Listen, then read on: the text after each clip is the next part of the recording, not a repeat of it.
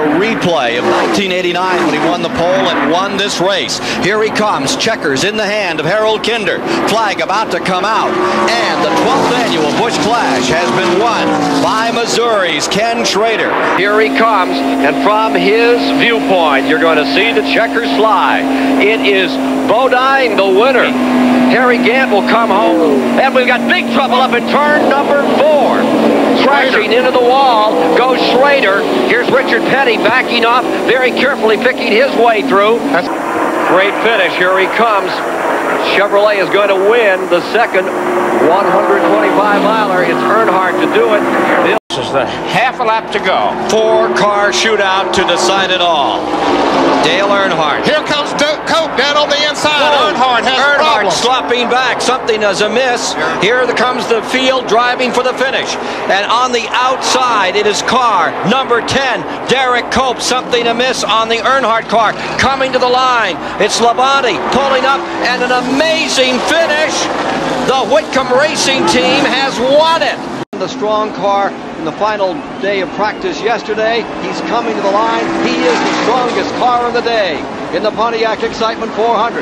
Mark Martin has won his second Winston Cup race. Playing it very conservatively, dropping the car to the low side of the racetrack. Off corner number four, the checkered flag waves, and Kyle Petty has won the Goodwrench 500 at Rockingham and picks up the $228,000 in Unocal bonus money. The Chevrolet of Dale Earnhardt now begins to wind up for the final time. And Earnhardt picks up the checkered flag. Here comes Dale Earnhardt down off the banking. On the main straightaway, Dale Earnhardt wins the Trans-South 500. And it is Davey Allison. Oh. Sterling Marlin Marlin spins. spins off of corner number two. Sterling Marlin spins down the backstretch. Here comes, here comes Mark Martin trying to make a move off of corner number four. It's a drag race. Wow. I don't know. A I don't photo finish. I think Davey Allison won, but I wouldn't say for sure. Can Brett Bodine hold on for his first Winston Cup win? Here he comes off the fourth corner. He's going to do it. Brett Bodine wins the first Union 400. Hand in the air, waving to people, even though he's not finished the race yet. Here he is off the fourth corner, and Geoff Bodine from Chemung, New York, wins the Hanes Active Wear 500 at Martinsville. The inside. Is he going to be able to do it? He now looks to the outside. They cross the line.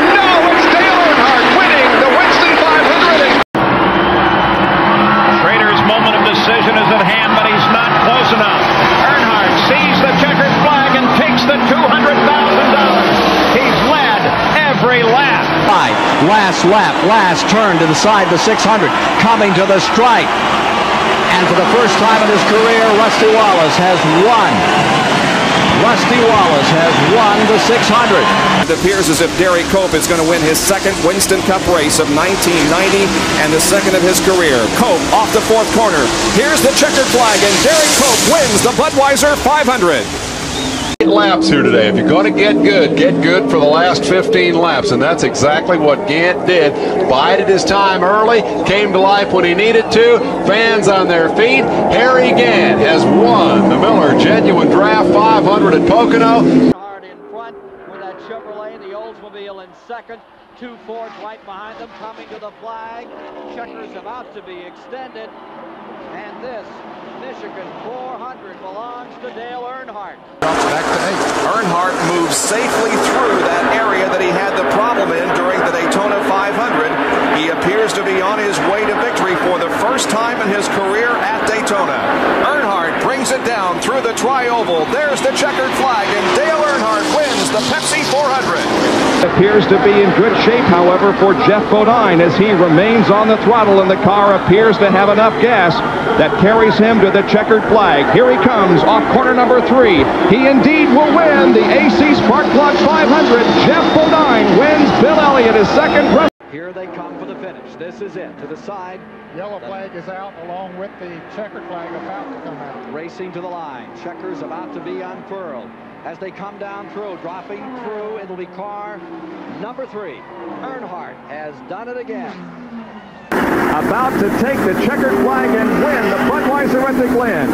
And here is the battle for second position. There is the checkered and yellow waving simultaneously. Martin, the track is clear. Come on. And there's the second place car on the right side of your screen. That's Greg Sacks. But here comes Mark Martin through the trioval. Mark Martin wins the champion Spark Plug 400, the second Winston Cup victory of his career. Look at this battle. Wallace, Elliott, and Rudd. And that appears is going to. Here he is at the fourth corner. Yes, Ernie Irvan wins the Busch 500. Look at this. Look at this group. He is in turn number four now. Dale Earnhardt brings the car off the banking. Here's the checkered flag, and Dale Earnhardt wins the Southern 500 for 1990. Down for the finish. Mark Martin in that second spot on the bottom of the racetrack. They are across the line, and the checker falls, and it's win number eight of 1990 for Dale Earnhardt. Here he is, off of turn number four. The crowd goes wild. Bill Elliott does it. He wins his first race of the year. Brett Bodine at the moment. This will be the third win of 1994, Geoff Bodine. Here he comes off of corner number four. The white flag is awaiting him, and he takes the checkered flag for the third win of the year for Geoff Bodine and his second here at Martinsville. There. North Wilkesboro. He brings the Folgers Ford off the fourth corner, and Mark Martin wins the Tyson Holly Farms 400. The Jack Roush crew celebrate. So many great teams was lost the week of the Die Hard 500 down at Talladega this year. Down to the line, last lap, checkered flag, getting ready to fall on Davey Allison, waving as he crosses the stripe. And the Robert Yates team with Davey Allison, the Alabama gang. And look. The AC Delco 500 ends under caution because of a spin involving Darrell Waltrip, and the winner of the race, his second victory of his career, is Alan Kulwicki. Ernie Irvan. Terry Labonte blew an engine across the start-finish line as he got the white flag. And Dale Earnhardt will come out of turn four and take the checkered flag to win the checker 500. Earnhardt's Goodwrench crew celebrating. There's Dale Earnhardt from Kannapolis, North Carolina, and the Richard Childress crew are about to win the Winston Cup Championship and all the prestige and the million dollars that goes with it. Here's the checkered flag. Morgan Shepherd wins. Geoff Bodine crosses in second. Dale Earnhardt finishes third and wins the Winston Cup.